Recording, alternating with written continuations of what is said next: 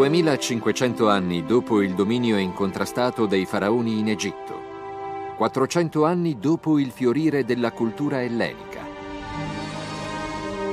300 anni dopo Alessandro Magno, in una piccola città italiana nacque un bambino di nome Ottaviano. Un bambino che un giorno verrà chiamato Augusto e la cui nascita, come racconta uno storico del tempo, fu subito leggenda. Suo padre, che guidava un esercito attraverso paesi lontani, si recò in un boschetto sacro per avere una profezia sul futuro di suo figlio. Quando il vino fu versato sull'altare, le fiamme si innalzarono al cielo. Un segno che si era verificato solo una volta prima di quel momento, con Alessandro Magno. Il sacerdote dichiarò che Augusto avrebbe governato il mondo. Questo aneddoto di Svetonio è stato scritto alla fine del primo secolo d.C. Egli usò come fonti della sua biografia le descrizioni dei testimoni oculari, i racconti popolari e le ricerche condotte in veste di bibliotecario imperiale. In verità, scrive Svetonio, inizialmente le prospettive del giovane Ottaviano erano tutt'altro che grandiose. Il ragazzo era di salute cagionevole, proveniva da una famiglia di piccoli proprietari terrieri e il padre fu il primo tra loro ad entrare a far parte del Senato. Ma quel che è peggio, Ottaviano nacque in tempi minacciosi. La guerra civile aveva imperversato per decenni. I nobili proprietari terrieri combattevano per conquistare maggior potere e molti disponevano di grandi eserciti. La tradizione romana di un governo democratico fu spesso calpestata. La stessa sorte toccò a tanti innocenti spettatori.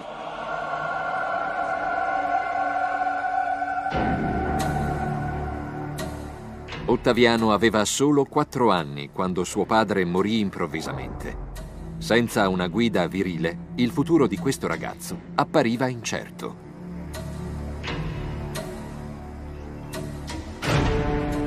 Ma nel 49 a.C., quando Ottaviano compì 13 anni, il suo destino ebbe un'importante svolta. In quell'anno il suo prozio Giulio Cesare ebbe la meglio sul campo di battaglia e guidando il suo esercito attraverso il fiume Rubicone si proclamò padrone di Roma e capo di una potenza in espansione.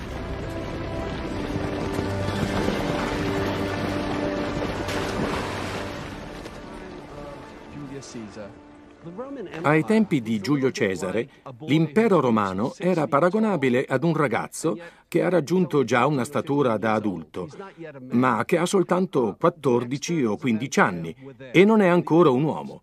Di fatto esisteva l'impero, c'erano gli eserciti e i romani controllavano gran parte delle coste del Mediterraneo, ad eccezione dell'Egitto. Tuttavia, essi non avevano ancora imparato a gestire gli eventi in modo funzionale e organizzato. Le lotte intestine dei decenni passati avevano indebolito l'impero. Le tribù del nord minacciavano i confini. I nemici sfidavano Roma ad oriente e la provincia spagnola ambiva all'indipendenza. Giulio Cesare si affrettò a proteggere i confini e i territori conquistati, ma non aveva eredi. Così, quando Ottaviano portò a termine una missione pericolosa, Cesare lo adottò. Si trattava di un'enorme opportunità, ma anche di una sfida rischiosa. Questo perché nel 44 a.C. gli stranieri non erano gli unici a minacciare la stabilità di Roma. I nemici si celavano anche nella piccola cerchia dei consiglieri di Cesare. Ed egli fu ucciso proprio durante una seduta del Senato. Ottaviano perse così suo padre per la seconda volta, ma ormai adulto si gettò a capofitto nel turbine della politica romana. La morte di Cesare rappresentò un punto di svolta non solo nella vita di Ottaviano, ma anche nella storia dell'impero. A quell'epoca aveva solo 19 anni e quando seppe di essere l'erede di Cesare, ne accettò immediatamente le conseguenze politiche. Aderì alla corrente principale della politica romana e non esitò a vendicare la morte di suo padre. Questo significava inevitabilmente calpestare la scena politica, sollevare un esercito e tuffarsi nel contesto del supremo potere politico di Roma. Con i nemici catturati, Augusto era brutale. Una volta, mentre un padre e un figlio lo imploravano di risparmiare la loro vita, egli ordinò di tirare a sorte per decidere chi di loro sarebbe stato giustiziato. Il padre offrì la sua vita e fu ucciso. Per questo il figlio si suicidò. Augusto li guardò entrambi morire. Svetonio definisce questo episodio una prova del fuoco alla quale Ottaviano non si sottrasse. Infatti strinse un'alleanza strategica con Marco Antonio, un potente generale che aspirava al potere supremo. Insieme sconfissero i nemici nella capitale. Poi inseguirono i loro rivali fino alle coste della Grecia, dove combatterono e vinsero due delle più sanguinose battaglie della storia romana. Ottaviano e Antonio si spartirono il bottino di guerra. Ora dominavano l'impero.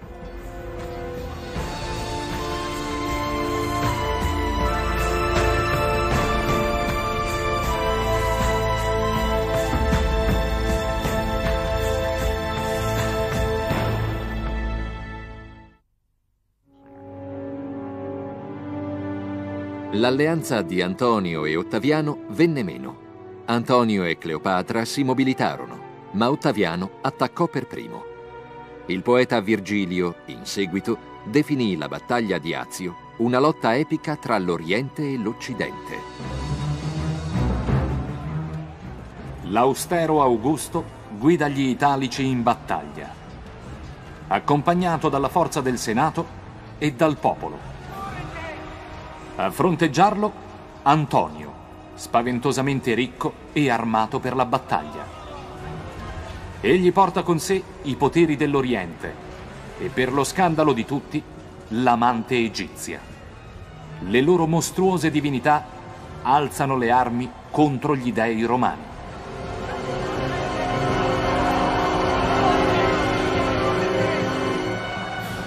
Tre quarti della flotta egizia furono annientati Antonio e Cleopatra si suicidarono e la terra dei faraoni fu annessa formalmente all'impero romano.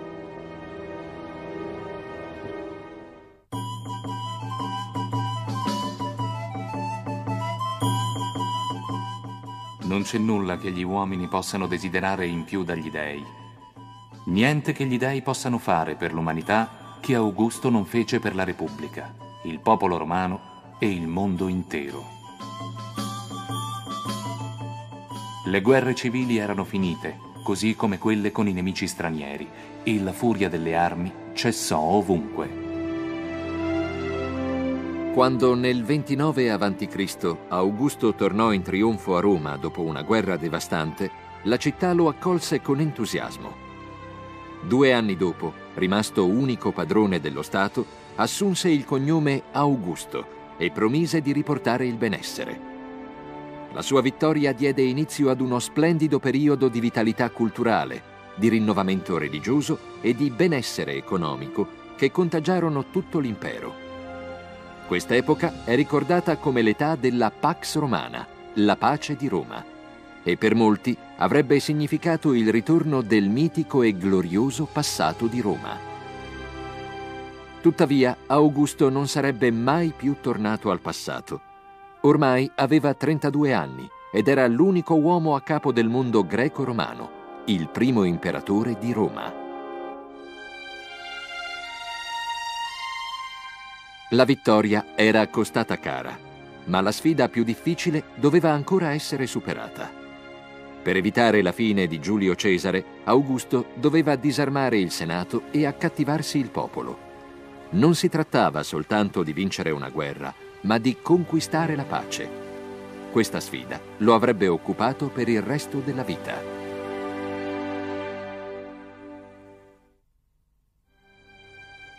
Augusto sapeva che Giulio Cesare era stato ucciso per il solo fatto di comportarsi come un re. Non avrebbe commesso lo stesso errore. Rinunciò agli alti incarichi e raggiunse un delicato compromesso tra realtà e apparenza.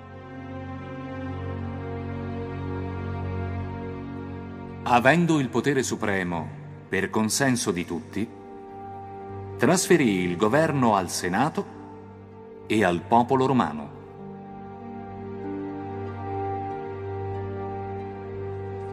Augusto era un uomo politico molto astuto. Infatti fingeva di ristabilire le tradizioni politiche repubblicane. In realtà stava organizzando una vera e propria dinastia monarchica.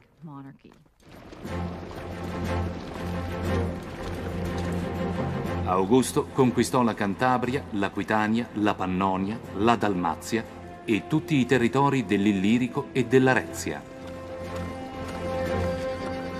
Egli non si limitò a trasformare l'impero, ma ne estese anche i confini. L'Egitto era già stato annesso e presto fu la volta della Spagna settentrionale. Augusto attraversò l'Europa e conquistò la Germania poi unì Occidente e Oriente, occupando l'attuale Ungheria, l'Austria, i Balcani e la Turchia centrale. Queste vittorie impegnavano i soldati e i senatori romani e costituivano una piacevole distrazione dalla povertà che regnava in città. Augusto organizzava corse delle bighe, spettacoli di gladiatori ed esibizioni di animali esotici, prede di guerra dello sconfinato impero romano. C'erano rinoceronti nell'arena, tigri asiatiche nel teatro e serpenti giganti nel foro. Un gruppo di sostenitori, fondamentale per Augusto, era rappresentato dalla popolazione cittadina, i plebei. C'erano centinaia di persone senza lavoro che dovevano essere tenute lontane dalla strada e dai guai. Questi spettacoli erano un'ottima forma di controllo. La situazione era instabile e nei primi quattro anni del regno di Augusto la popolazione venne tenuta a bada grazie a queste distrazioni. Nel 23 a.C. gli eventi presero una piega critica Cassio Dione descrive una serie di disastri che convinsero il popolo che Augusto avesse bisogno di maggior potere. La città era inondata dal fiume in piena e colpita dai fulmini. Poi in Italia si diffuse un'epidemia e nessuno poté più lavorare la terra. I romani pensavano che queste sventure dipendessero dal fatto che Augusto aveva abbandonato i suoi incarichi, volevano che fosse nominato dittatore. La folla alzò delle barricate intorno al Senato e minacciò di bruciare vivi i senatori se Augusto non fosse stato eletto imperatore assoluto. Queste richieste minavano il precario equilibrio politico voluto da Augusto. Egli si inginocchiò davanti alla folla, si strappò la toga e, battendosi il petto, promise che si sarebbe occupato personalmente delle scorte di grano, ma rifiutò di essere chiamato dittatore. La folla si disperse, ma la lezione era chiara. Mantenere l'ordine all'interno dei confini, nelle strade e nel Senato era un compito al di sopra delle sue forze. Augusto aveva bisogno di un aiuto divino e fortunatamente per Roma questo arrivò. Accadde qualcosa di inaspettato. La cometa di Halley fece la sua comparsa. Augusto pensò che fosse l'anima di Giulio Cesare che saliva in cielo. Così, da quel momento, suo padre fu chiamato il divino Giulio Cesare. Augusto intuì che il vero nemico dell'impero era il cambiamento della morale. Egli credeva che il futuro di Roma dovesse trarre le sue origini dal passato e dalla restaurazione dei valori che una volta l'avevano resa grande. Ho rinnovato molte delle tradizioni che stavano scomparendo.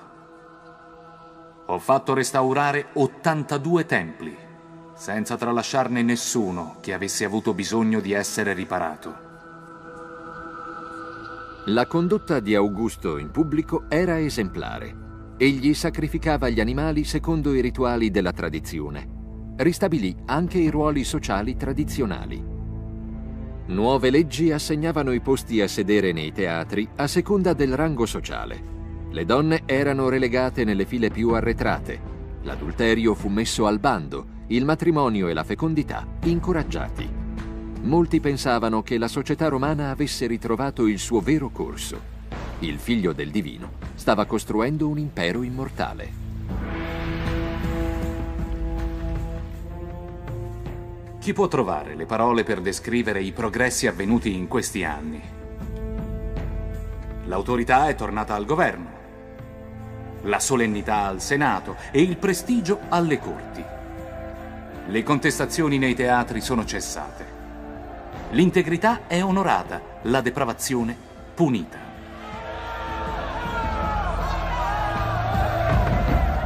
Tuttavia, tra gli applausi non mancava qualche grido di protesta.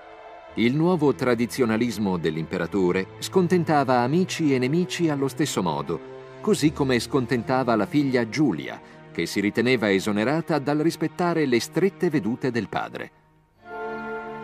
Un soldato romano racconta la ribellione di Giulia. Giulia, ignorando suo padre Augusto, fece tutto ciò che è vergognoso per una donna. Passò dall'eccesso alla lussuria. I suoi vizi erano superiori alle sue virtù. E lei proclamava la sua libertà di ignorare le leggi della decenza. Come padre, Augusto non poteva sopportare il comportamento di sua figlia. Come imperatore, non poteva tollerare l'imbarazzo che ne derivava. Augusto mandò Giulia in esilio per il resto dei suoi giorni. Stavo per tralasciare i modi in cui una ragazza intelligente può eludere il controllo del marito o di una guardia attenta. Ma poiché hai bisogno di aiuto, ecco il mio consiglio. Poco dopo l'esilio di Giulia, Ovidio rese pubblico il suo audace poema Ars Amatoria. Non avrebbe potuto scegliere tempi peggiori. Sicuramente troverai una guardia ad ostacolarti, ma puoi sempre scrivere. Comporre lettere d'amore mentre sei chiusa in bagno e spedirle per mezzo di una complice che le nasconderà sotto il vestito o nei calzari. Se le guardie dovessero insospettirsi, la tua complice potrà lasciare che tu scriva sulla sua pelle, che sarà la tua carta. La poesia di Ovidio esaltava i comportamenti che motivarono l'esilio di Giulia e il destino di Giulia serviva da monito più di cento raccomandazioni. Forse per questo Augusto non si pronunciava nei confronti del ribelle e geniale poeta. Nel frattempo Ovidio si diede a un genere meno provocatorio. Si risposò e nei suoi scritti rivalutò la discrezione. Godi dei piaceri proibiti, ma quando ti rivesti non dimenticare la tua maschera di decoro. Una faccia innocente nasconde più di una lingua bugiarda.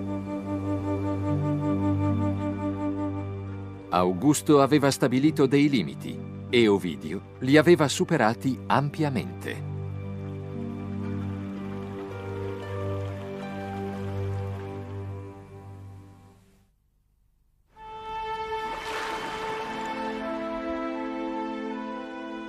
Credimi, l'apice del piacere amoroso non dovrebbe essere affrettato, ma assaporato.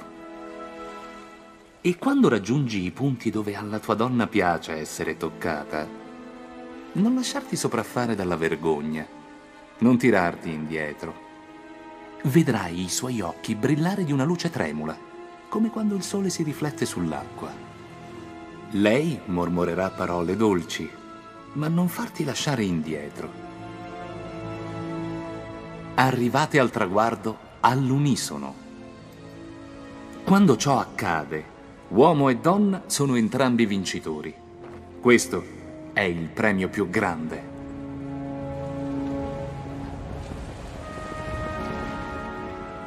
Le parole di Ovidio appassionavano i romani. Ma dieci anni dopo, questi ritornarono a perseguitarlo.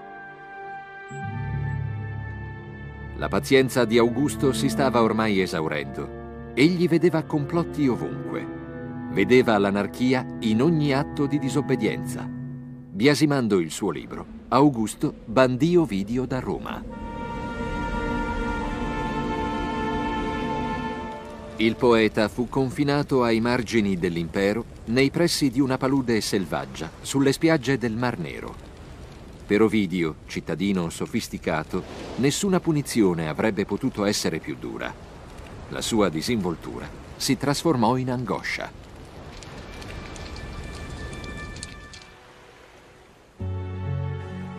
Dopo nove anni di esilio, Ovidio morì. Era sopravvissuto ad Augusto, ma si era dovuto piegare alla sua volontà. Agli inizi della sua carriera, Augusto aveva vinto le guerre sconcertando Roma e alla fine aveva ottenuto la pace. Ma uomini come Ovidio ne pagarono il prezzo. Negli anni a venire, quando uomini meno abili avrebbero governato l'impero, il prezzo da pagare sarebbe diventato ancora più alto.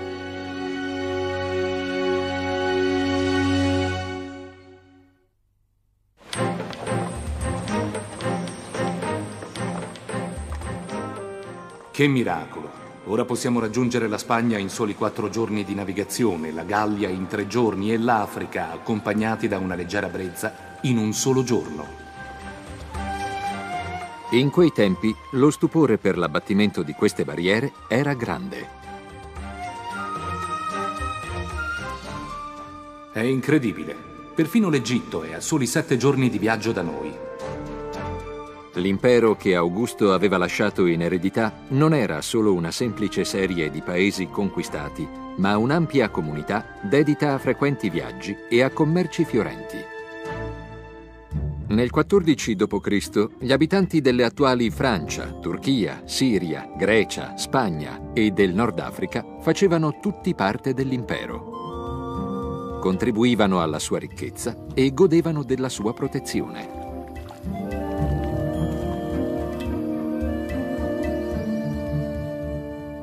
Ma alla morte di Augusto, la grande famiglia di Roma includeva anche qualche membro che era fonte di preoccupazioni. L'Egitto, annesso circa 45 anni prima, rimaneva un paese esotico con un ruolo fastidioso. La Giudea, conquistata anch'essa mezzo secolo prima, era un focolaio di rivolte. E in Germania le tribù locali resistevano al completo asservimento. Poi c'era la Britannia, una volta Giulio Cesare aveva provato a rivendicare quest'isola. Tuttavia, alla morte di Cesare, la Britannia non era ancora entrata a far parte dell'impero.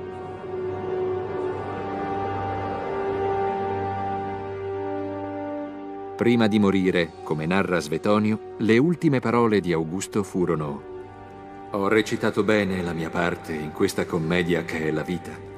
La risposta fu un sì. Il Senato divinizzò Augusto e quando ciò avvenne, lo scettro del potere passò ad un uomo che era rimasto nell'ombra per 50 anni, il suo figliastro Tiberio.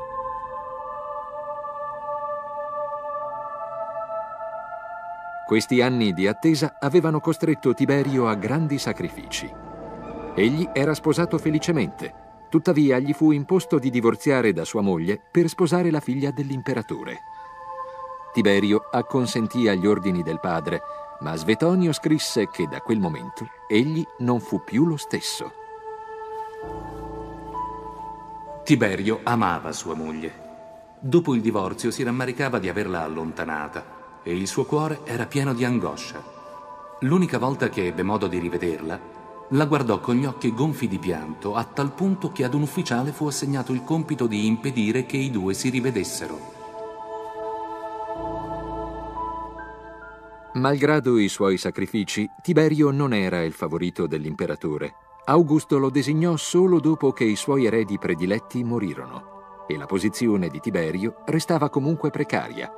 Il Senato era sospettoso, necessitava di una guida, ma al tempo stesso non gradiva questo passaggio di potere a titolo ereditario. Mentre Tiberio tentava maldestramente di definire il suo ruolo, al di fuori di Roma la situazione era di cattivo auspicio. Arrivò un messaggio dalle province. Due eserciti che si trovavano al confine settentrionale si ribellavano agli ordini. Tutto ebbe inizio tra le legioni di stanza nelle attuali Ungheria e Austria. Un soldato denunciò l'amara realtà della vita nell'esercito e così si diffuse il malcontento.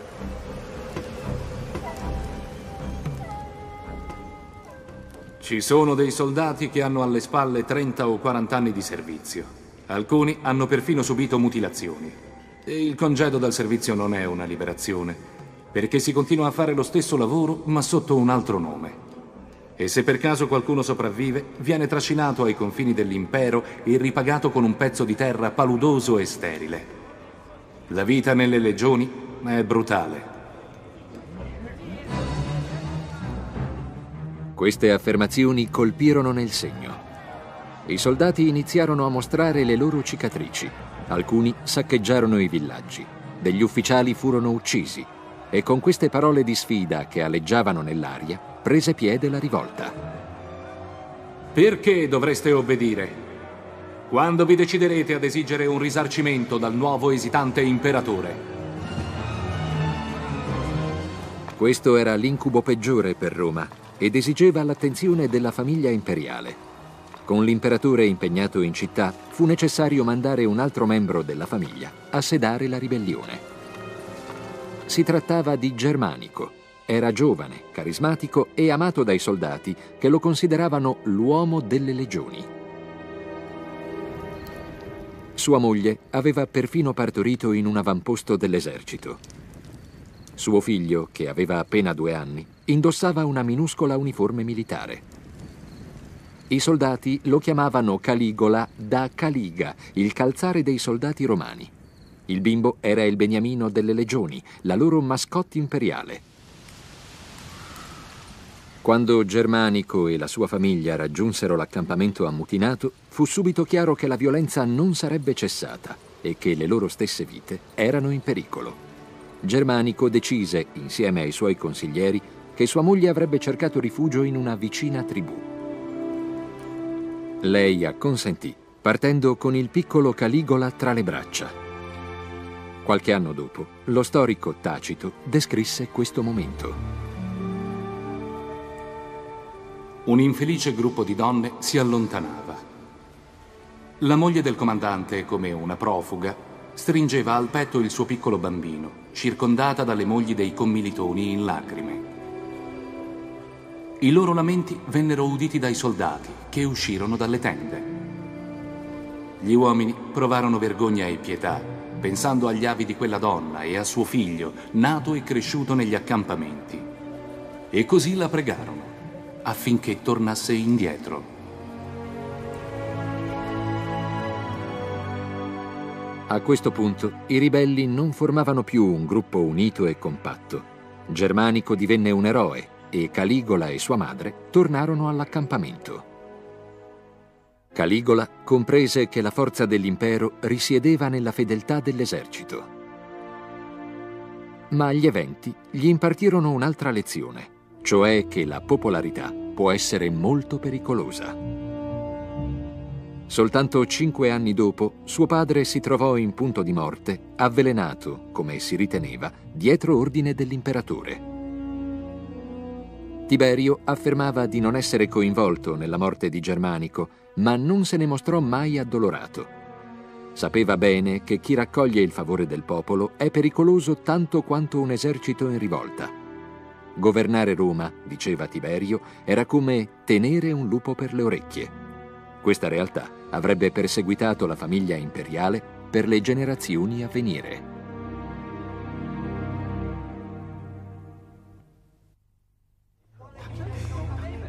Dato il disprezzo tra i senatori e Tiberio, quest'ultimo cercò consiglio al di fuori del suo ambiente, rivolgendosi a un ufficiale di cavalleria di nome Seiano, un uomo che lo storico Tacito chiamava il ciarlatano del villaggio. Seiano appariva come una persona onorevole, ma covava una natura avida.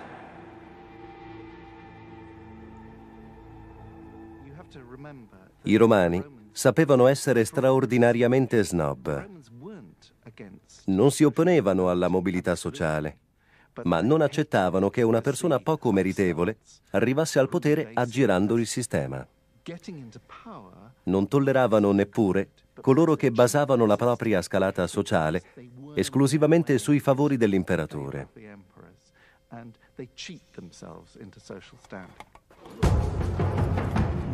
Tiberio assegnò al suo nuovo amico Seiano il comando dei pretoriani, un corpo d'élite creato per mantenere l'ordine e proteggere l'imperatore. Seiano concentrò le sue truppe in un unico accampamento. Radunate in un solo posto, le guardie accrescevano l'influenza politica del loro comandante. Seiano conquistava le simpatie dei soldati parlando con ognuno di loro. Egli sceglieva i loro leader personalmente e suggeriva agli uffici provinciali quali senatori avrebbero dovuto sostenerlo. Secondo Tacito, Tiberio premiò il suo aiutante Seiano con i più alti onori, definendolo suo compagno di lavoro. Seiano approfittò della fiducia dell'imperatore per spianarsi la strada verso il potere, un potere che avrebbe assoggettato Roma a un regno di terrore degno del suo passato più cupo. Germanico, l'eroe dell'esercito in rivolta, era morto. Seiano sospettava che la sua famiglia stesse tramando per assumere il potere. La vedova di Germanico era stata separata dai suoi figli e mandata in esilio. A Roma, il giovane Caligola fu risparmiato dalle ritorsioni, mentre i suoi fratelli maggiori furono meno fortunati. Svetonio descrive il loro destino. Entrambi vennero giudicati come traditori e condannati a morte. Uno fu confinato nei sotterranei del palazzo imperiale, dove la fame lo indusse a mangiare l'imbottitura del cuscino. Si ritiene che l'altro si sia suicidato quando il boia gli mostrò il cappio e i ganci che sarebbero serviti a trascinare il suo corpo attraverso la città.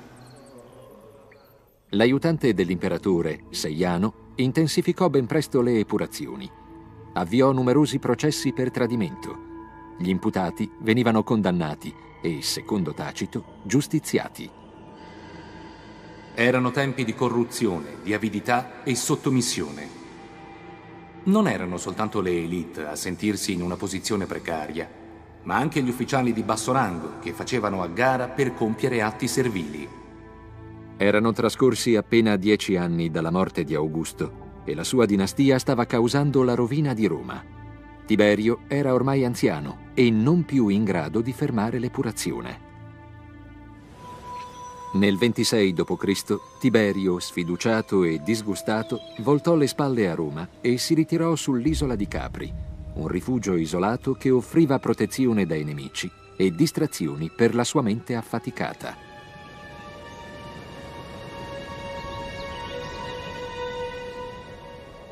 Una volta insediato a Capri, Tiberio fece allestire delle stanze per i suoi perversi desideri.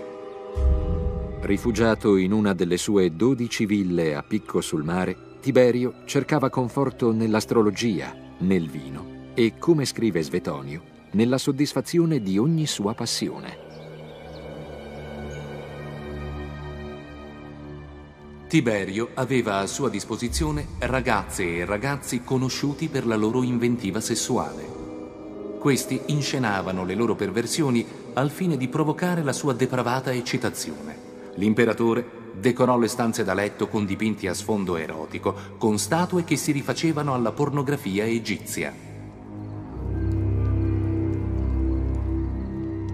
Soltanto a Seiano era concesso di vedere l'imperatore recluso. In seguito alla morte dell'unico figlio di Tiberio, Seiano era il solo a godere della sua fiducia. A Roma egli assunse tutti i poteri propri dell'imperatore e governò con crescente autonomia. Sembrava proprio che fosse destinato a sostituire Tiberio stesso.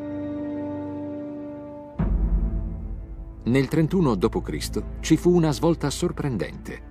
L'intesa tra Seiano e Tiberio venne meno e quest'ultimo favorì Caligola, l'unico membro della famiglia reale che fosse ancora in vita. Tiberio convocò Caligola a Capri e inviò un messaggio segreto al Senato nel quale condannava Seiano. L'episodio fu descritto dallo storico Cassio Dione. All'alba il messaggero dell'imperatore risaliva la collina sulla quale si trovava il tempio di Apollo, dove erano stati convocati i senatori. Fuori dal tempio trovò Seiano, al quale mentendo fece credere che sarebbe stato il prossimo successore di Tiberio.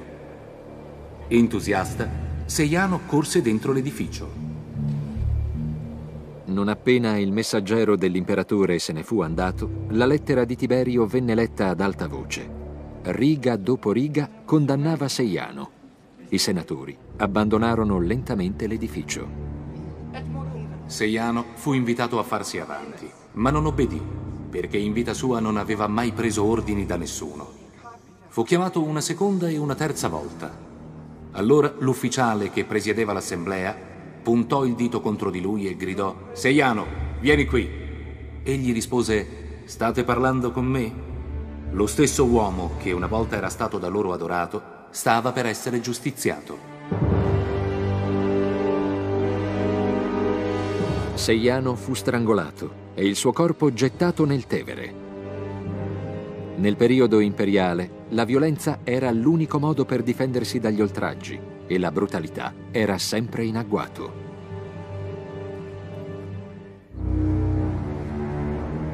Da Capri Tiberio continuava a governare Roma. I suoi rivali erano stati annientati e con loro anche la concreta possibilità di una sua successione. Negli ultimi anni di vita l'imperatore era solo e stanco e l'unico suo erede sopravvissuto era Caligola.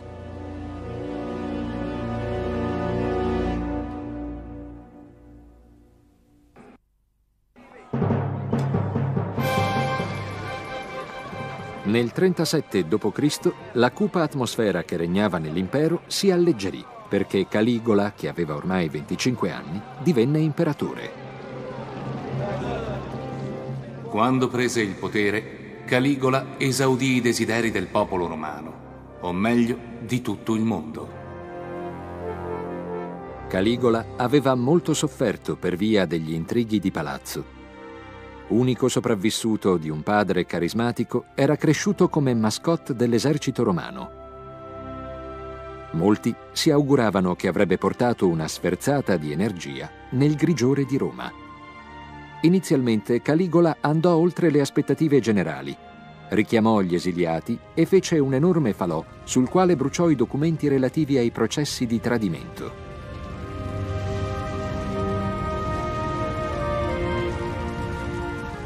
Ma presto Caligola iniziò a manifestare la sua inquietante eccentricità.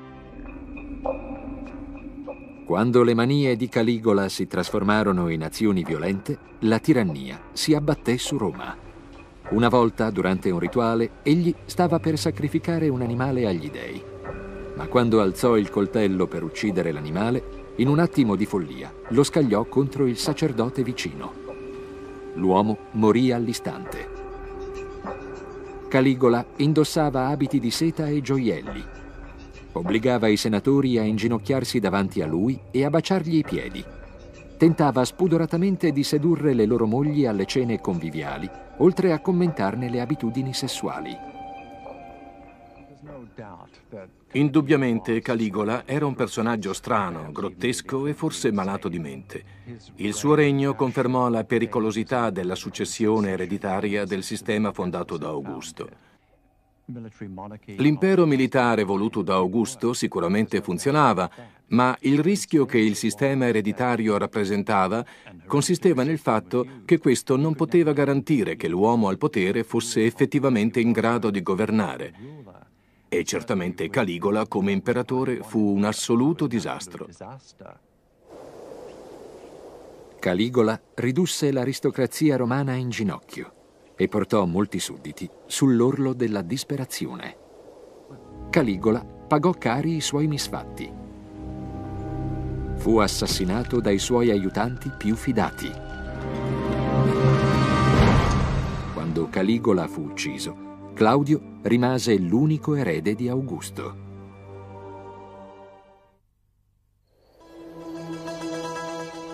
Claudio avrebbe sorpreso tutti. L'imperatore si alzava all'alba per iniziare il suo lavoro. Fece approvare leggi che proteggevano gli schiavi malati, aumentò i privilegi delle donne, si scusava con i postulanti per la mancanza di sedie. Fu attraverso queste gesta che egli singraziò il popolo, spiega Svetonio. A queste sorprendenti imprese ne seguirono di memorabili. Claudio ebbe successo dove Giulio Cesare aveva fallito e riuscì a imporre il governo romano in Britannia. Fu la maggiore conquista dell'impero dopo la morte di Augusto. Ma non era tutto. Per secoli il Senato aveva rifiutato l'elezione di non romani al suo interno. Nel 48 d.C. Claudio sostenne che alcuni uomini della Gallia avrebbero dovuto sedere tra i senatori.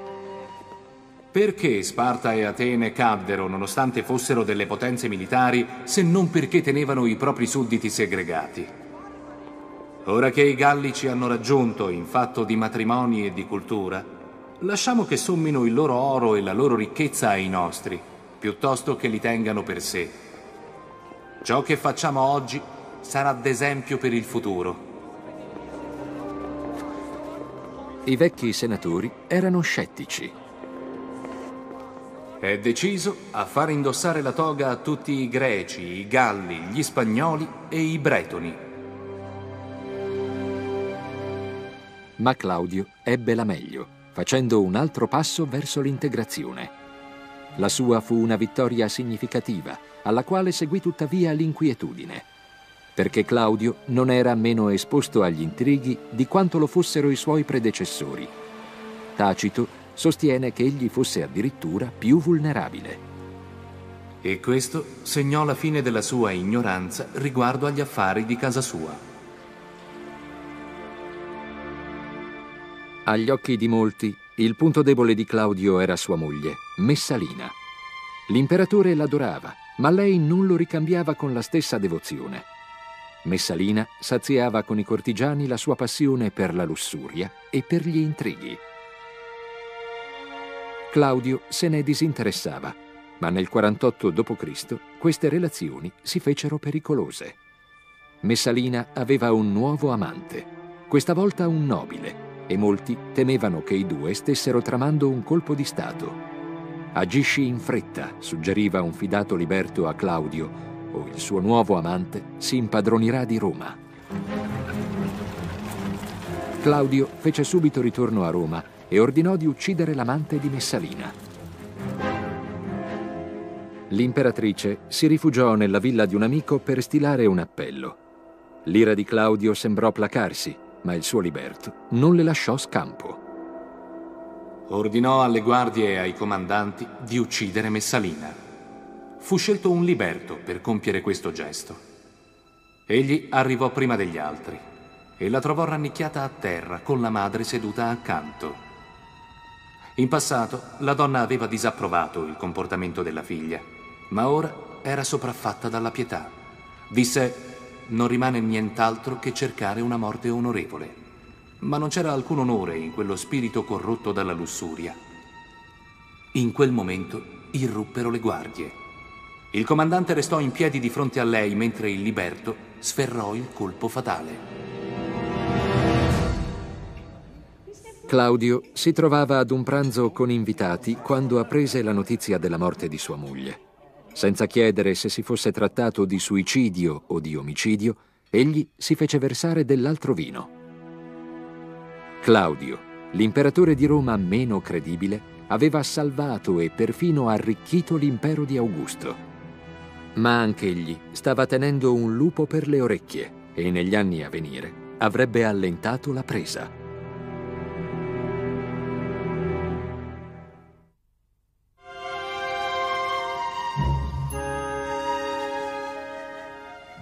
Il giovane Claudio decise di scrivere una storia, ma non ebbe molto successo alla prima lettura in pubblico, perché un uomo grasso, sedendosi, ruppe una panca. il pubblico scoppiò a ridere. E anche dopo che tutti si furono sistemati, Claudio non riuscì a controllarsi continuando a pensare all'incidente e si dileguò tra le risate. Il biografo della famiglia imperiale descrisse duemila anni fa un mondo governato da Roma e Roma governata da uno strano imperatore. Il suo nome era Claudio. Claudio balbettava e zoppicava. Era la vergogna della famiglia imperiale e visse nell'ombra per gran parte della sua vita. Claudio trovava piacere nel coltivare i suoi studi, lontano dalla politica. Ma intorno al 50 d.C. la fortuna volse dalla sua parte e chi lo criticava rimase stupito. Egli prese il timone dell'impero più grande al mondo con una sicurezza che nessuno aveva mai avuto fin dagli inizi della dinastia. Claudio estese i confini dell'impero a sud portò a termine la conquista del Nord Africa. A nord sottomise le fiere tribù indipendenti della Britannia. Dalla Turchia al Marocco, dal Mar Rosso al Mare del Nord, quasi tutto il vecchio mondo faceva ormai parte dell'impero romano. Ma Claudio fece di più che estendere l'impero. Egli fece approvare leggi a tutela degli schiavi malati concesse ai popoli conquistati di diventare cittadini romani e perfino senatori. Claudio mi piace, lo trovo un personaggio vincente.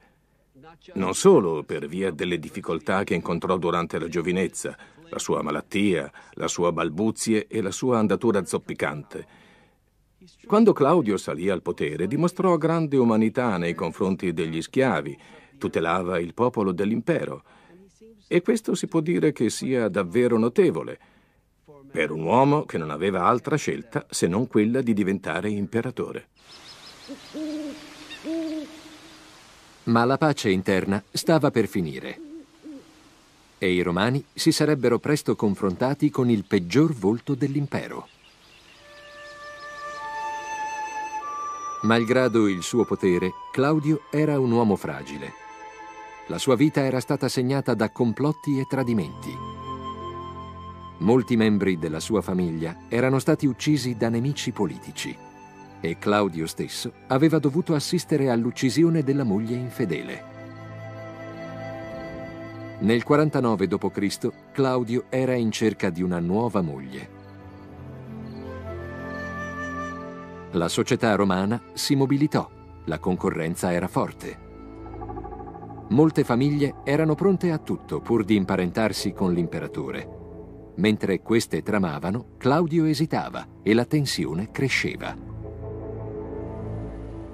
Infine, Claudio prese una decisione che sbalordì Roma.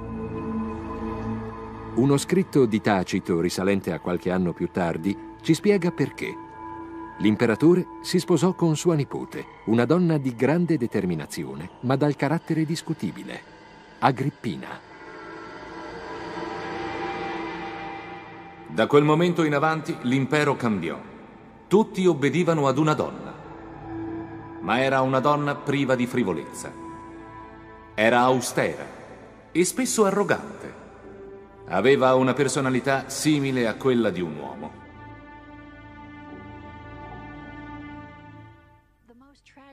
Agrippina scrisse le sue memorie che purtroppo sono andate perdute. Darei qualsiasi cosa per ascoltare la sua versione dei fatti.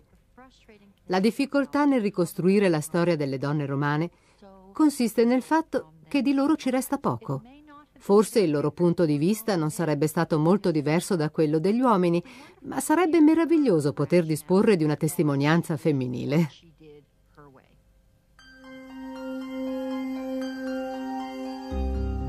Agrippina ignorò l'ideale romano di virtù femminile.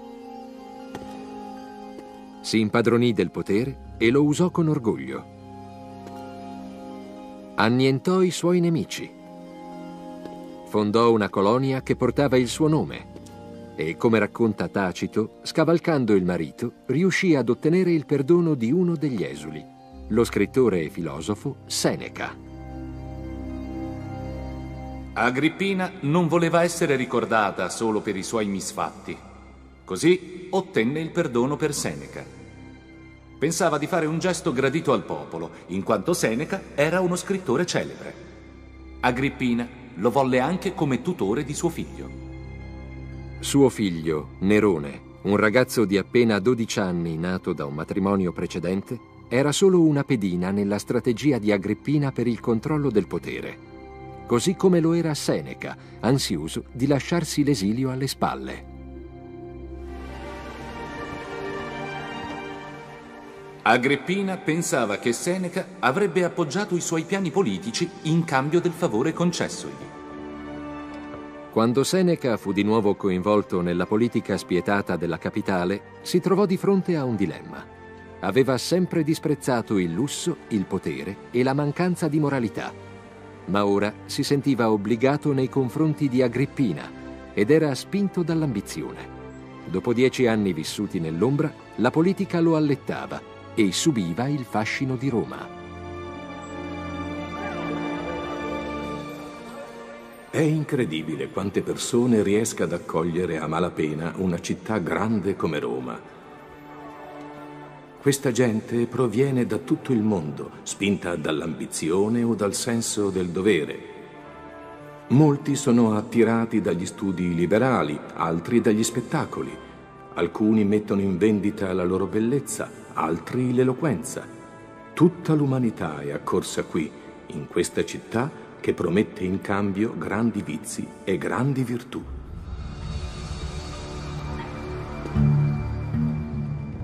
All'interno del palazzo imperiale, Seneca si sarebbe imbattuto in molti più vizi che virtù. Dopo aver attirato Claudio nella trappola del matrimonio, Agrippina iniziò ad ordire un complotto. Innanzitutto emarginò il figlio dell'imperatore e convinse Claudio ad adottare Nerone e a designarlo suo erede.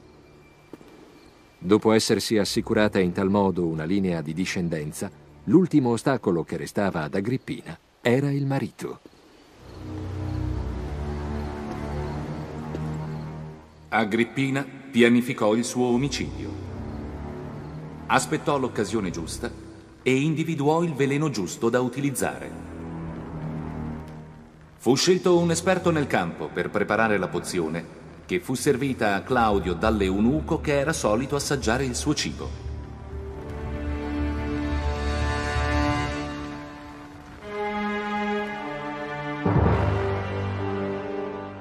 L'imperatore si accasciò come se stesse morendo, ma poi iniziò a riprendersi. Agrippina, terrorizzata, riuscì a coinvolgere anche il medico dell'imperatore nel delitto. Mentre fingeva di aiutare Claudio a vomitare, il dottore gli infilò in gola una piuma imbevuta di veleno. I crimini azzardati, commentò Tacito, portano grandi ricompense. Claudio, l'imperatore di Roma, era morto. Nel giro di poche ore, la via verso il potere si spianò. Il figlio di Agrippina fu proclamato imperatore. Presto Seneca avrebbe percorso una strada che lo avrebbe portato a scontrarsi con i suoi principi morali. L'impero di Nerone era iniziato.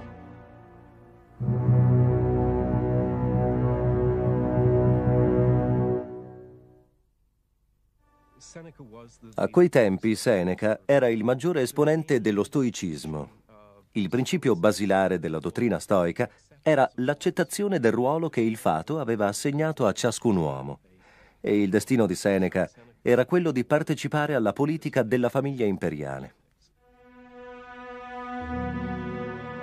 E vi partecipò grazie a Nerone, che ormai aveva 16 anni e il cui avvento al trono era stato macchiato di sangue. Il compito di Seneca era quello di trasformare questo ragazzo, che proveniva da una famiglia ambiziosa, in un buon politico. All'inizio le possibilità di riuscita sembravano buone, perché Nerone era un ragazzo sensibile. Amava il teatro, la musica e, come racconta Svetonio, anche le corse dei cavalli, un passatempo molto popolare all'epoca. Fin da bambino, Nerone si rivelò appassionato di corse possedeva un giocattolo d'avorio a forma di carro. Ben presto desiderò condurre egli stesso un carro. Dopo essersi esercitato con alcuni schiavi, apparve nel circo di fronte a tutta la città.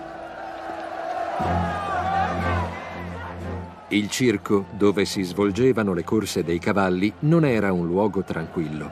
A guidare le bighe erano in genere schiavi e liberti. Il pubblico spesso imprecava ferocemente contro le squadre rivali. Io ti prego, demone, chiunque tu sia, di crocifiggere i cavalli delle squadre bianche e verde e di uccidere i guidatori Claro e Felice, di togliere loro il respiro.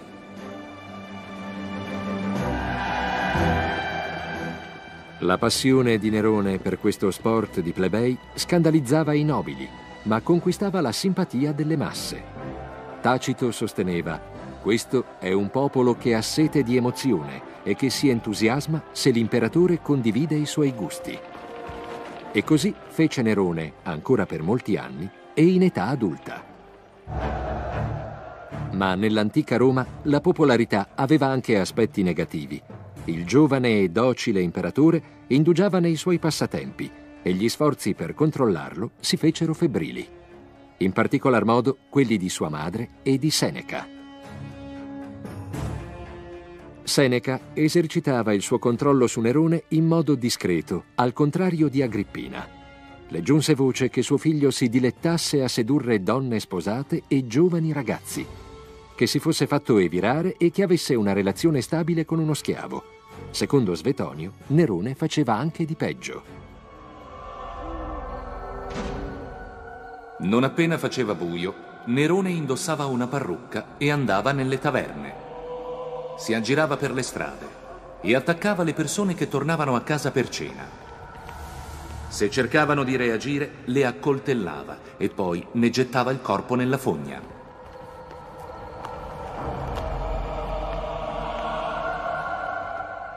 Le storie che riguardavano la perversione di Nerone si moltiplicavano e la disapprovazione di Agrippina cresceva. Il rapporto tra madre e figlio si deteriorò rapidamente. Il complotto ebbe inizio in una località di mare. Nerone invitò la madre in barca col pretesto di riconciliarsi con lei. Agrippina accettò. Al termine dell'incontro si rimise in viaggio. La scena viene descritta da Tacito. La barca era appena partita. Agrippina era accompagnata da due servitori. Uno stava in piedi vicino al timone, l'altro sedeva ai suoi piedi, rievocando la scena del pentimento di Nerone nei confronti di sua madre. Poi venne dato il segnale. Il tetto della barca cedette sotto il peso del piombo. Il servitore fu schiacciato e morì all'istante. Ma la sorte favorì Agrippina, che si salvò grazie alle robuste spalliere della lettiga che resistettero al peso. Agrippina si mise a nuotare cercando di portarsi in salvo. Nerone rimase sbalordito quando apprese che sua madre si era salvata. Ritornò al palazzo imperiale e chiamò a sé Seneca e il comandante delle guardie, un uomo di nome Burro. Non è chiaro se questi uomini fossero già al corrente del complotto, perché l'imperatore li convocò subito. Tremando, Nerone urlò che Agrippina sarebbe potuta apparire da un momento all'altro, istigando i soldati o armando gli schiavi. Seneca e Burro tacquero a lungo. Poi Seneca osò chiedere a Burro se sarebbe stato possibile ordinare alle sue truppe l'assassinio. Burro rifiutò di coinvolgere il suo battaglione scelto. Così Nerone incaricò alcuni soldati di portare a termine l'omicidio. I soldati accerchiarono la sua villa e scardinarono le porte. La trovarono in una stanza buia in compagnia di un'ancella. I sicari circondarono il letto. Il capitano la colpì in testa con un bastone. Poi un altro soldato la pugnalò. Agrippina urlava di colpirla al ventre. E così fu colpita diverse volte e pugnalata a morte.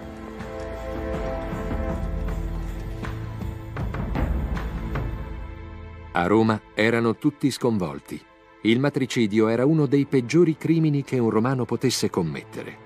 Nerone informò solennemente il Senato che sua madre stava cospirando per rovesciare il governo di suo figlio, l'imperatore, ma erano soltanto scuse. L'idea non fu di Nerone, ma di Seneca, che inventò questa storia per coprire le malefatte del suo pupillo. Il filosofo, che si era sempre ispirato ad alti principi morali, era ormai inesorabilmente implicato nella brutale realtà della politica imperiale.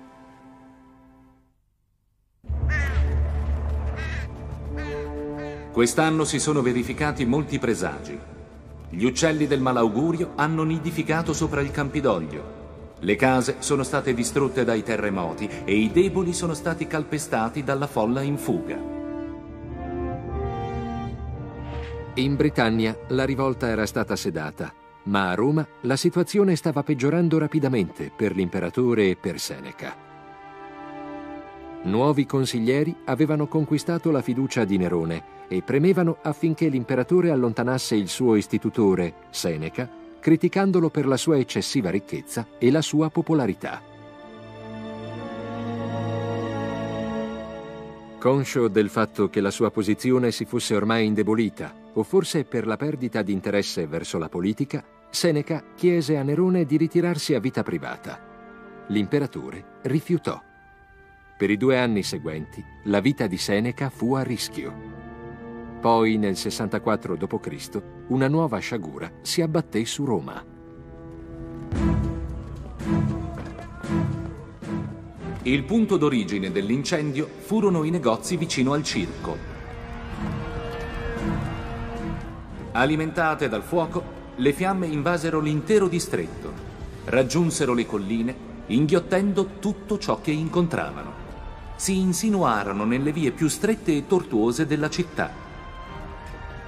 Le urla delle donne, dei bambini, degli invalidi, della gente terrorizzata che tentava di mettersi in salvo o di sottrarre alla morte qualcun altro, tutto contribuiva ad aumentare il panico.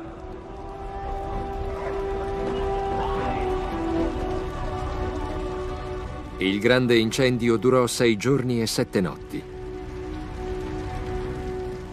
Delle 14 zone di Roma, solo quattro furono risparmiate. Andarono distrutti numerosi templi, case e negozi. Quando l'incendio si spense, Nerone valutò i danni. aprì gli edifici pubblici, anche quelli di sua proprietà, ai senza tetto. Tuttavia, secondo Tacito, l'intervento dell'imperatore fu di ben poco aiuto. I provvedimenti di Nerone furono vani. Correva voce che mentre l'incendio divorava la città, l'imperatore se ne stesse rifugiato nei suoi appartamenti privati cantando.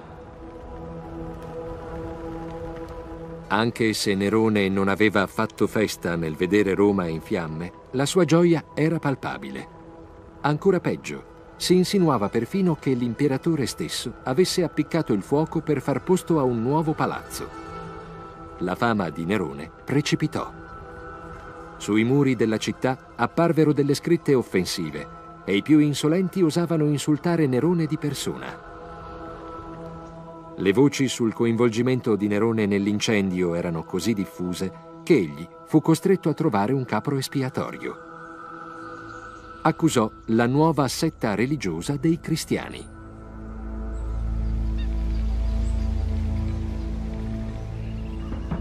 Nell'intento di far cessare le chiacchiere sul suo conto, Nerone diede la colpa ai cristiani, che egli odiava per via delle loro insolite usanze. Gesù era stato crocifisso appena trent'anni prima.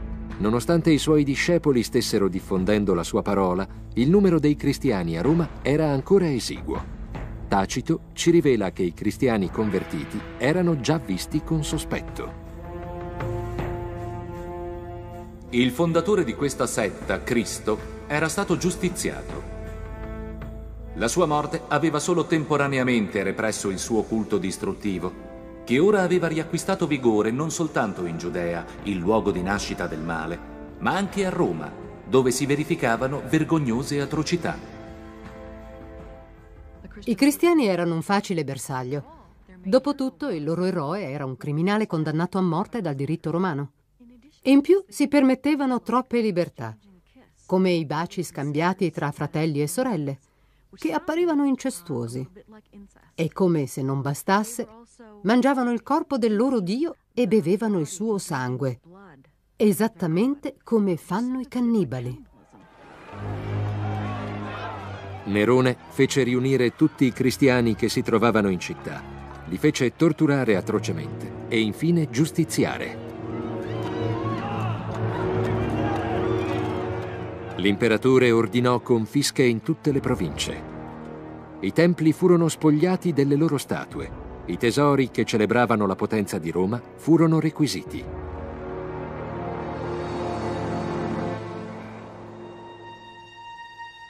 Per Seneca, questa fu la goccia che fece traboccare il vaso, si finse malato e rimase in disparte. Finalmente Nerone lo autorizzò a ritirarsi in campagna, dove, nella sua tenuta privata, avrebbe potuto riflettere su ciò che restava del suo onore.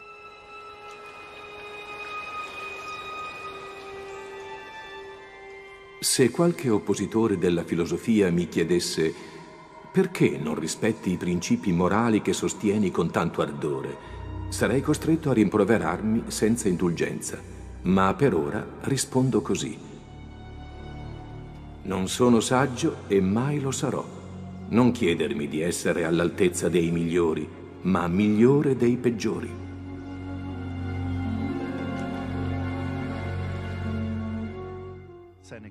Seneca sapeva bene di non essere perfetto. Avere a che fare con l'imperatore significava possedere una buona dose di ipocrisia. Ma proprio negli ultimi giorni della sua vita, Seneca cominciò ad enfatizzare apertamente i principi della filosofia stoica. Forse per sfuggire all'imbarazzo di non essere riuscito ad esercitare il suo controllo sul giovane Nerone. Nerone si sottraeva a ogni controllo. Ora che sua madre era morta e il suo tutore si era ritirato a vita privata, Roma era in balia dei suoi capricci. Esisteva un solo modo per destituirlo. Fu organizzata una cospirazione, un complotto tra i senatori, i cavalieri e le donne, basato sull'astio nei confronti di Nerone. Nel 65 d.C. alcuni romani cominciarono a ipotizzare l'omicidio. ma frenati dalla paura, esitarono.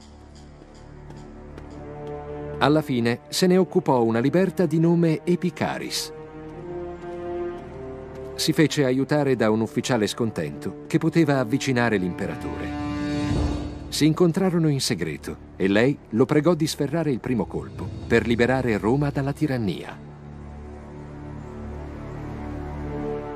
Epicaris iniziò a elencare i crimini commessi dall'imperatore. C'era un solo modo, diceva, per punire Nerone e l'ufficiale avrebbe ricevuto in cambio una degna ricompensa. Si rivelò un errore fatale. L'ufficiale tradì Epicaris, rivelando tutto a Nerone. L'imperatore si vendicò. Chiese a Epicaris di svelargli i nomi degli altri congiurati, ma non ottenne risposta. Nerone si infuriò e la minacciò.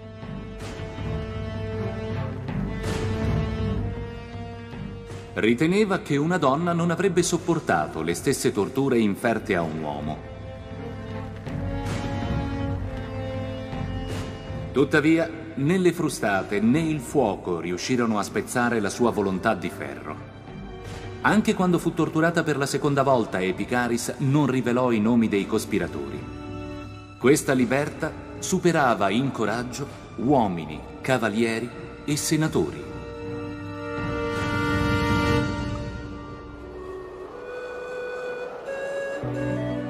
Il giorno seguente, Epicaris pose fine alla sua vita impiccandosi.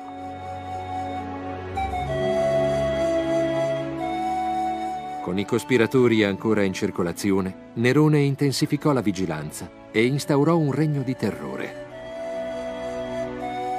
Innumerevoli persone, alcune innocenti, altre colpevoli, caddero sotto la furia dell'imperatore. Seneca fu uno di loro Malgrado la scarsità di indizi, Nerone inviò un ufficiale presso di lui, esigendo il suo suicidio.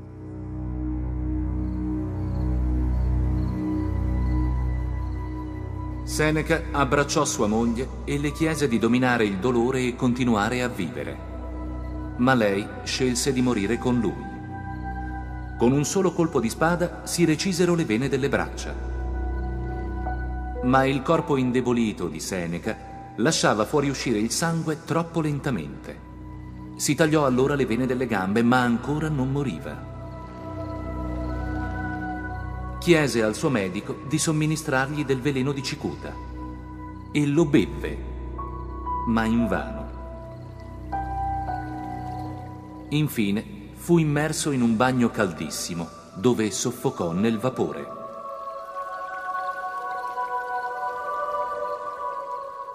Pochi filosofi avevano raggiunto la statura di Seneca e pochi avevano pagato un prezzo così alto. La sua condotta si discostò spesso dai suoi ideali, ma egli sperava che la storia gli avrebbe reso giustizia. Chi si preoccupa degli uomini del suo tempo è nato per pochi. Seguiranno migliaia di anni, migliaia di generazioni. Guarda loro. Se è vero che la virtù conduce alla fama, la nostra reputazione sopravviverà. Verranno i posteri a giudicarci senza risentimenti e compiacenze. Mentre il sangue di Seneca veniva versato, i peggiori furono lasciati a governare Roma da soli.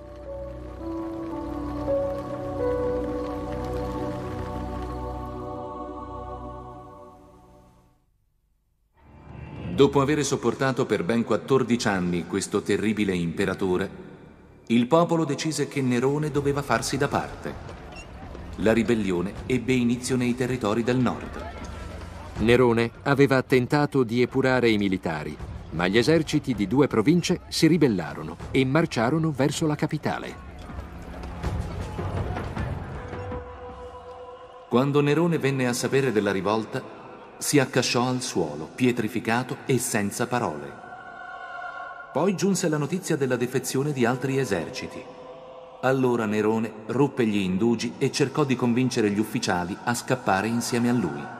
Alcuni gli voltarono le spalle, altri rifiutarono apertamente. Anche i senatori abbandonarono Nerone. Lo dichiararono nemico pubblico, autorizzando chiunque a ucciderlo senza pietà. Terrorizzato, l'imperatore scappò in campagna con i pochi schiavi rimastigli fedeli.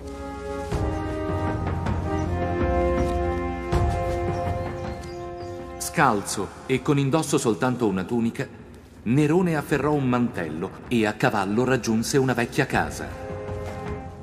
Mentre aspettava che i suoi servi ultimassero un'entrata segreta, si aprì un passaggio tra i cespugli, facendosi strappare il mantello dai rovi.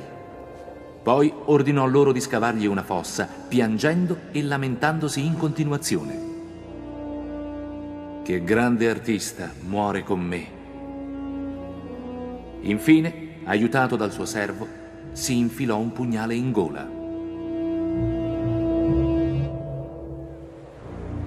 La dinastia di Augusto si era estinta. L'impero era ora senza una guida. Nel 68 d.C., generali rivali marciavano verso Roma. La guerra civile era vicina.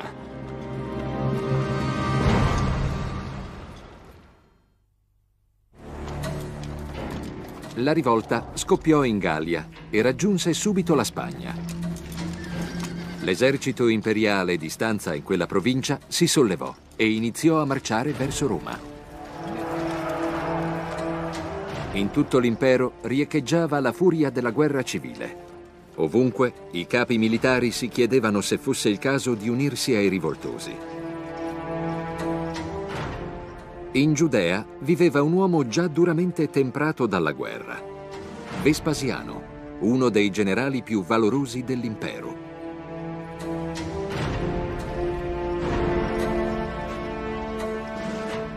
Lottava da tre anni nel tentativo di soffocare una rivolta locale. e quando iniziò a intravedere la vittoria, mutò le sue ambizioni in modo inaspettato per un uomo del suo ceto.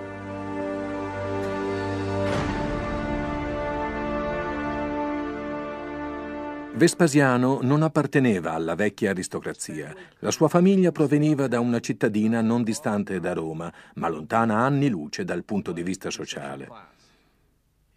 Suo padre e suo nonno erano stati esattori e soldati. E Vespasiano stesso dava di sé l'immagine di un uomo del popolo, un compagno militare, un uomo che era una cosa sola con i soldati. Le truppe lo incitavano a prendere il potere. Anche i soldati delle altre province lo esortavano. Allettato da questa opportunità, Vespasiano li guidò nella marcia verso la capitale. Le truppe di Vespasiano partirono dai Balcani, costeggiarono il Mar Adriatico e puntarono su Roma.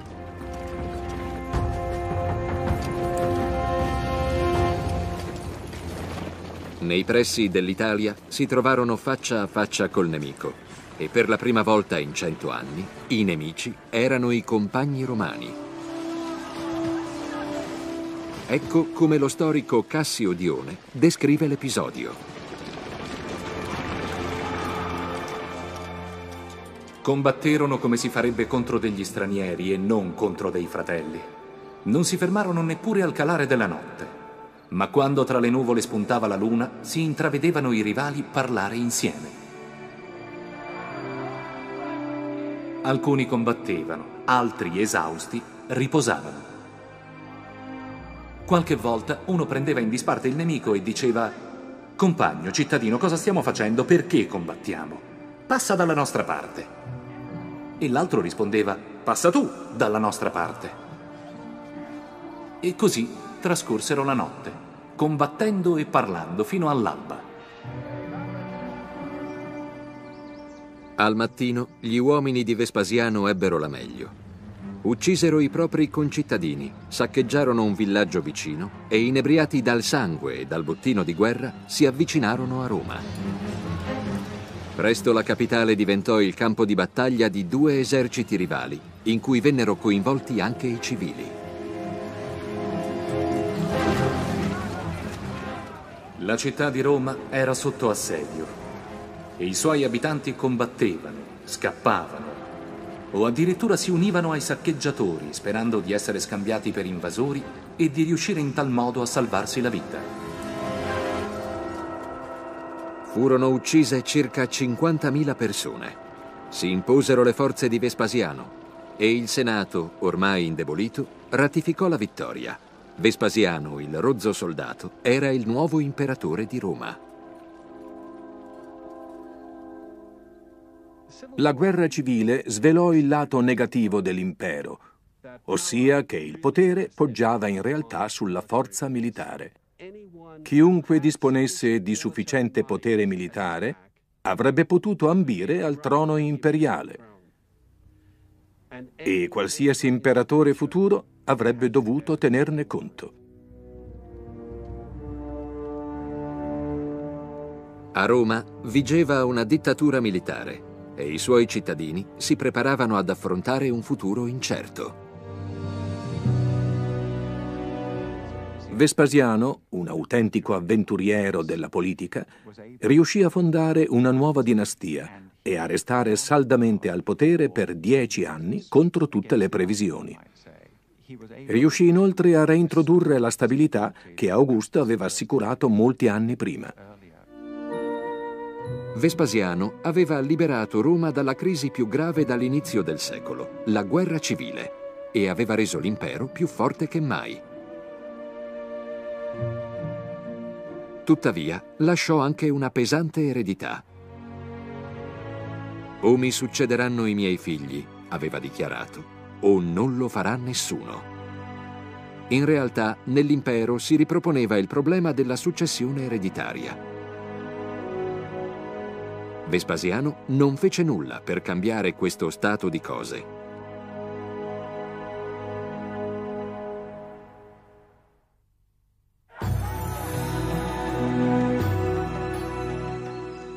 Nell'estate del 79, la città di Pompei era una fiorente comunità di qualche migliaio di persone. Alcune di esse ci sono note grazie ad uno scherzo del destino che conserva il loro mondo da quasi 2000 anni. Come molte città romane, Pompei vantava uno stadio, teatri, templi, terme e botteghe.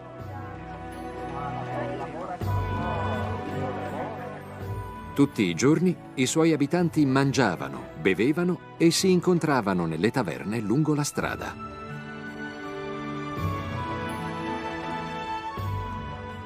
Qui una bevanda decente costa poco.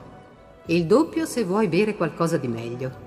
Quattro volte tanto e potrai assaggiare il vino migliore.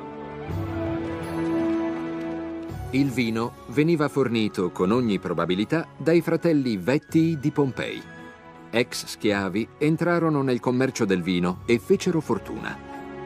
La loro casa era grande ed elegante, traboccante di simboli di una ricchezza acquisita da poco. Questa coppia, invece, possedeva un panificio.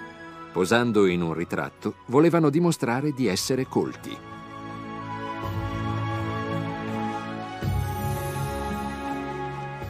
Nella vicina campagna viveva una donna di nome Giulia Felice, una ricca latifondista che affittava proprietà sul vasto terreno della sua villa. Sul terreno di Giulia Felice si possono affittare lussuose terme, botteghe, taverne, spazi di lavoro e appartamenti.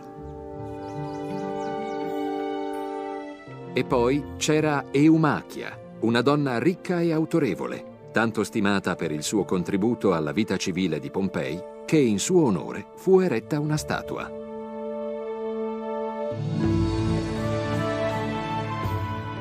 Nella zona di Pompei vivevano migliaia di persone.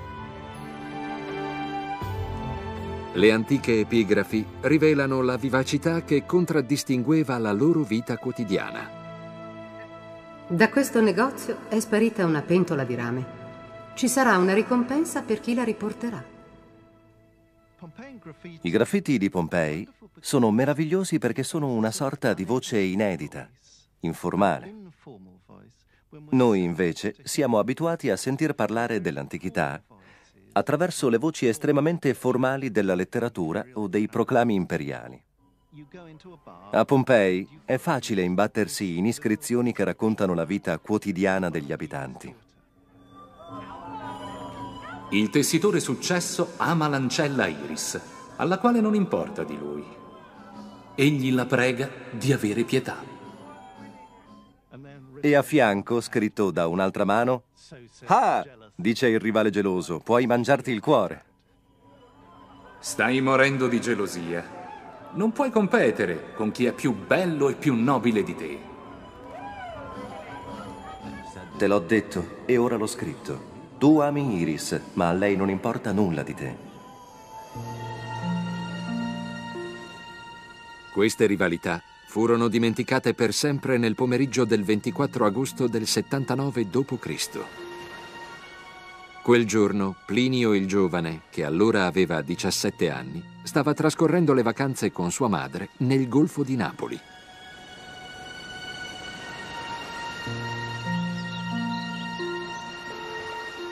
Suo zio lo aveva raggiunto da Roma.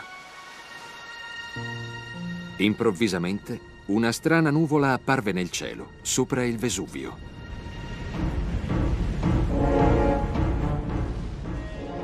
La nuvola aveva la forma di un pino, con un lungo tronco che si ramifica verso l'alto.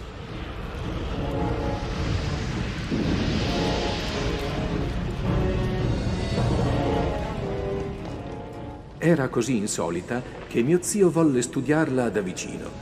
Fece preparare una barca. Senza paura guidò la barca attraverso il golfo, verso il pericolo, mentre prendeva nota dei movimenti e delle forme assunte dalla nuvola. Presto cadde la cenere, calda e densa. Poi vennero le pietre, nere e bruciate dal fuoco. Sbarcò vicino alla villa di un suo amico e, sperando di infondergli un po' della sua calma, gli chiese di poter fare un bagno e di riposarsi. Poco dopo il cortile davanti alla sua camera si riempì di cenere. Gli edifici oscillavano e tremavano violentemente. Il cielo si fece più cupo della notte, poi le fiamme e i fumi sulfurei fecero scappare tutti.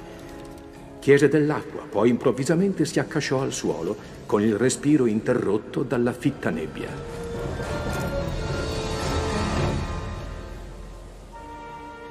La luce del sole tornò tre giorni dopo. Il giovane Plinio sopravvisse, ma suo zio, ucciso dalla sua stessa curiosità, fu una delle migliaia di persone che morirono. Pompei e la vicina Ercolano furono seppellite da un torrente di cenere e di fango e cancellate dalla storia per i successivi 1600 anni.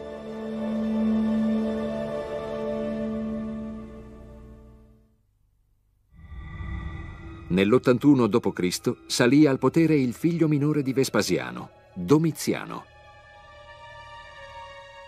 Svetonio racconta che si rivelò il peggior tiranno di tutti i tempi.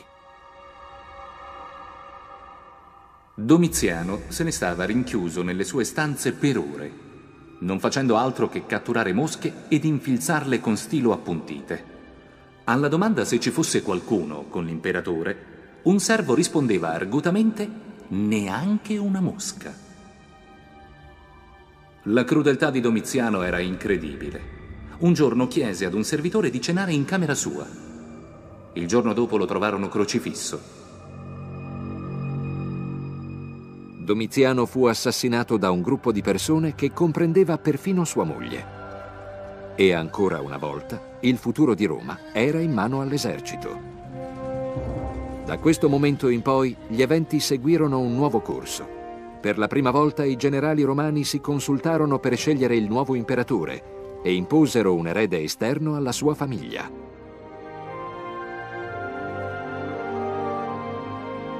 Questa decisione fu realmente innovativa e il risultato di grande successo. Il nuovo imperatore era un senatore di origine spagnola, un generale di nome Traiano. Il suo governo segnò un ulteriore passo verso il dominio sul mondo. Ora uomini ricchi e istruiti di tutte le province dell'impero potevano essere eletti a ricoprire la carica più alta. Traiano estese i confini dell'impero di Roma che mai fu tanto vasto come allora. La società toccò livelli di benessere mai raggiunti prima. Avviò lavori pubblici, sgravi fiscali e un programma di assistenza all'infanzia fra i suoi aiutanti più fidati c'era Plinio il Giovane.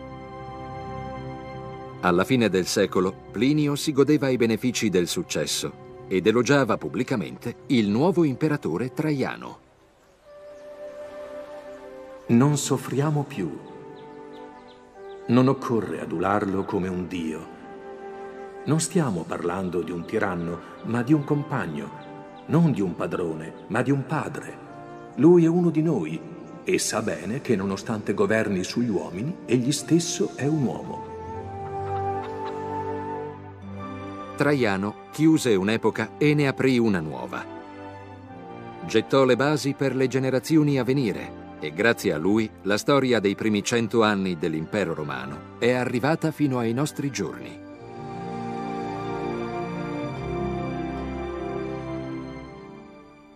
L'Europa di oggi si rifà un'immagine di potenza che deriva sicuramente dall'impero romano.